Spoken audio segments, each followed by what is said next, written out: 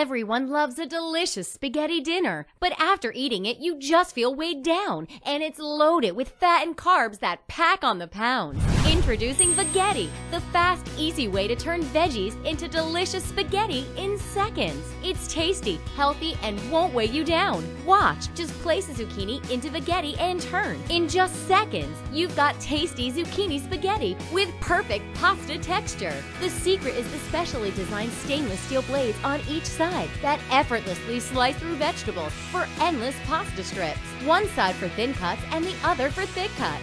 Add marinara sauce and parmesan. Top with garlic and olive oil, or make delicious primavera. Serve with a creamy Alfredo sauce or mouth-watering meat sauce.